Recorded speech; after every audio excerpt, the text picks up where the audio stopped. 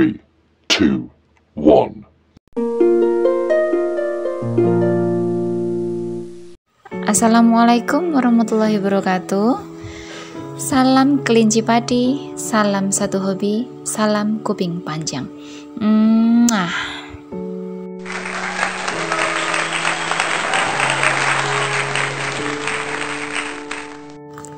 Sebelum aku mulai bahasan kali ini, jangan lupa like, subscribe, dan tekan loncengnya. Agar kalian gak ketinggalan ilmu seputar kelinci tentunya dari channel edukasi kami ini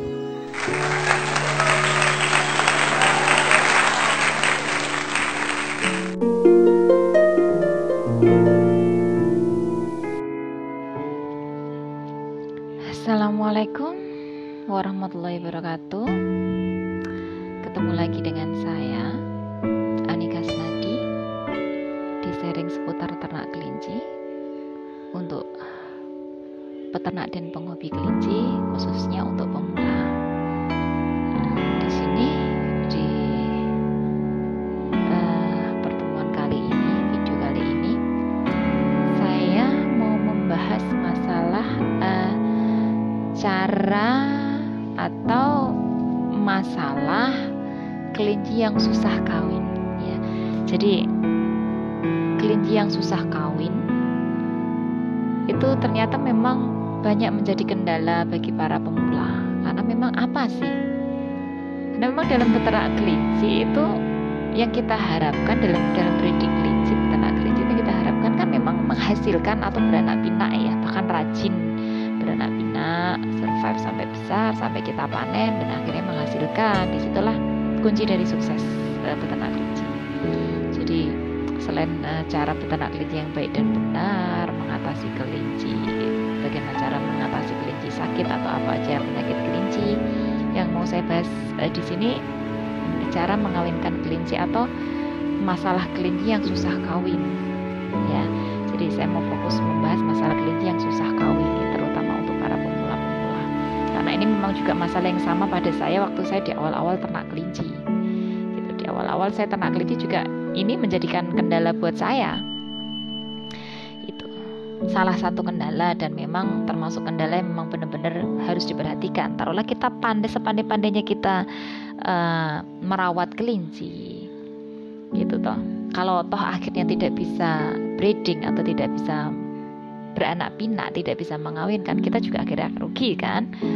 Gitu. jadi saya mau fokus bahas ini. Jadi ini ada beberapa faktor yang menyebabkan kelinci itu susah. Ada beberapa faktor yang menyebabkan kelinci susah kawin. Ya. Jadi faktor pertama ya. Ini ada satu dua tiga empat lima enam tujuh. Jadi ada tujuh kasus. Ini saya bercerita berdasarkan pengalaman saya pribadi di kandang.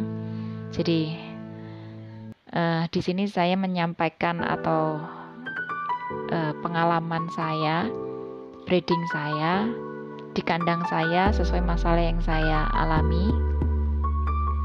Jadi saya hanya bisa menyampaikan sesuai apa yang saya alami. Kalau teman-teman di kandang yang lain mungkin punya tips atau triks yang lain mungkin bisa dilengkapi atau mungkin bisa disampaikan itu di komentar nantinya ya. Uh, jadi satu faktor pertama yang menyebabkan kelinci susah kawin adalah stres. Faktor kedua adalah pindah tempat atau ganti kandang. Faktor ketiga adalah sakit. Sakit bisa karena uh, flu, koksis, kabies, atau penyakit-penyakit yang lain ya. Mungkin sakit mata atau apa bisa juga. Terus yang keempat adalah pakan. Jadi kualitas pakan berpengaruh untuk kesuburan. Gitu kalau pakannya hanya sekedar kenyang tapi tidak mensupport untuk reproduksi atau kesuburannya ya otomatis uh, kelinci lebih susah kawin atau volume kelinci kawin dalam satu tahun itu lebih rendah dibanding pakan yang berkualitas. Yang kelima karena ganti pakan. Bisa jadi karena ganti pakan gitu loh. Uh, terus yang keenam bisa karena telat kawin jadi kadang ada beberapa kelinci yang setelah punya anak tidak segera dikawinkan itu akhirnya dia mogok kawin nggak tahu kenapa ya. Ini yang saya tahu saya nggak tahu kenapa. Yang saya tahu nggak tahu kenapa bingung kan.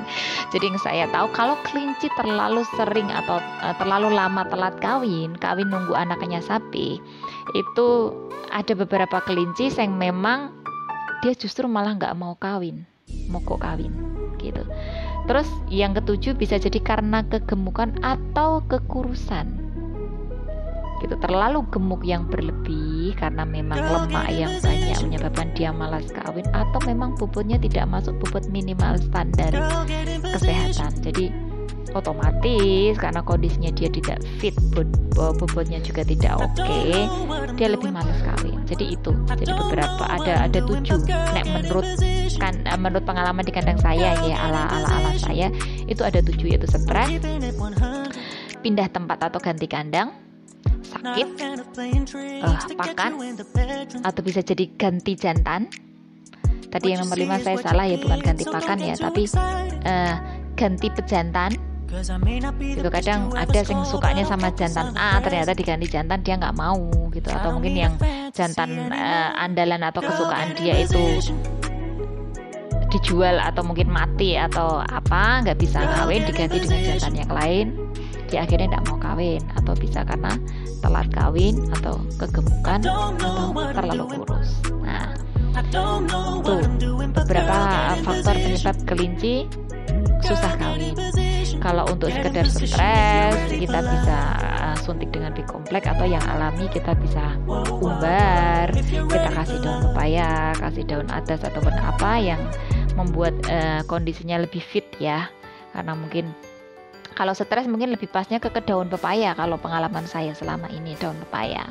Sama diumbar nah, itu. Kalau nggak dikasih daun pepaya diumbar. Itu stres. Jadi kalau mengawinkan kelinci nunggu kondisinya dia tidak stres.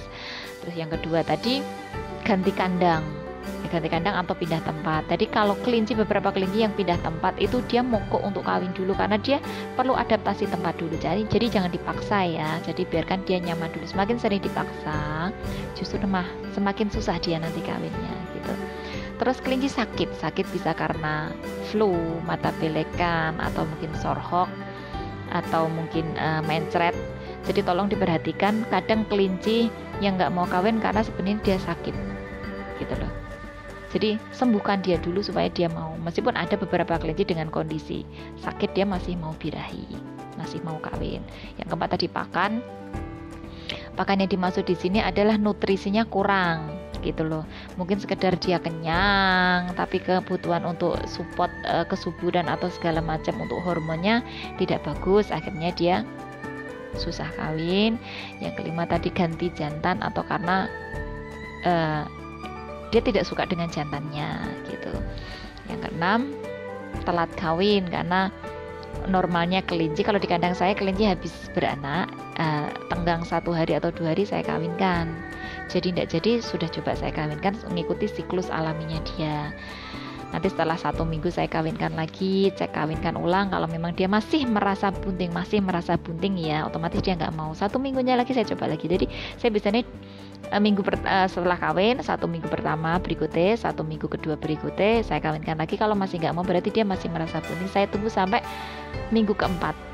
Minggu keempat kalau setelah saya palpasi saya raba saya cek kehamilannya memang ternyata dia negatif setelah 30 hari baru saya kawinkan lagi biasanya mau. Itu yang ketujuh karena kegemukan. Nah, ini untuk para-para pecinta kelinci yang terlalu ngelos pakan atau yang uh, terlalu mencintai body semplohai itu ada kekurangan karena kelinci saat gemuk itu seandainya pun terjadi perkawinan biasanya pembuahannya lebih sulit dibanding kelinci yang bobot standar. Kayak saya kalau aku kalau saya lebih suka ke kelinci bobot untuk New Zealand di bobot New Zealand sama rek itu bobot di angka 3 kilo, 3 koma. Pokoknya tidak nyampe ke 4 kilo lah atau tidak ke tiga setengah ke atas itu saya lebih suka. Kalau tiga setengah ke bawah tiga kilo sampai tiga setengah saya masih suka. Karena biasanya berdasarkan pengalaman itu uh, birahinya lebih gampang. Dan perlu diperhatikan juga untuk mengawinkan kelinci itu perlu cek apakah dia birahi apa tidak. Kadang ada samar beberapa kelinci yang terlihat birahi atau sedikit birahi dengan tanda agak memerah justru dia malah sudah bunting. Jadi kadang kita samar di sana. Bahkan saya sendiri pun kadang masih samar. Karena coba tak raba nggak nggak nggak terasa tak palpasi nggak terasa. Tapi ternyata memang sebenarnya sudah kawin ya solusinya tunggu sampai 30 hari setelah perkawinan pertama baru kita kawinkan lagi. Oke itu beberapa masalah atau kendala kelinci susah kawin berdasarkan pengalaman saya di kandang ya. Kalau memang ada salah atau uh, ada salah dari saya atau memang dari teman-teman tidak setuju mungkin bisa di uh, bisa di, di, di, disampaikan ya disampaikan nanti bisa biar saya perbaiki atau biar saya revisi kalau memang perlu gitu. Jadi informasi atau uh, tips dari saya untuk seputar kelinci yang susah kawin yaitu tadi hindari stres kalau ganti kandang tunggu dia stresnya hilang. Kalau sakit sembuhkan dulu. Kalau memang pakannya kurang bagus tingkatkan kualitasnya. Kalau memang uh, ganti jantan dia nggak mau jangan ganti jantan. Uh, kalau memang telat kawin usahakan di berikutnya jangan sampai telat-telatan. Jadi kalau kelinci sudah telat kawin saya biasanya mainnya kawin sodor. Yang alam itu kawin sodor. Kalau memang nggak kawin sodor baru saya pakai hormon supaya dia mau birahi. Birahi pun kadang juga dia masih enggan. Itu pun tetap tak kawin sodor. Cuman kalau dia sudah birahi kan nyodornya lebih mudah gitu. Terus kalau kegemukan ya agak didietkan sedikit dikurangi bubutnya supaya perkawinannya atau uh, proses bridgingnya lebih lancar. Itu tips dari saya supaya kita atau para peternak peternak kelinci tidak gagal dalam beternak Oke, sampai di sini saja informasi dari saya. Apabila ada salah-salah, saya mohon maaf yang sebesar-besarnya. Sampai di sini saja. Wassalamualaikum warahmatullahi wabarakatuh.